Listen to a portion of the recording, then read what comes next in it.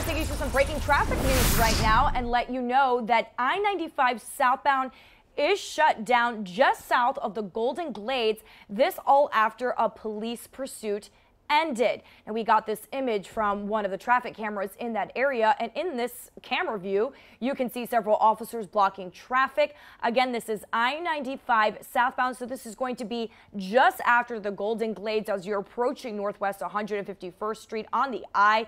We're going to continue to bring you updates and more images as soon as we get them. But right now, you're definitely going to want to avoid I-95 southbound. Go ahead and jump on US 441 in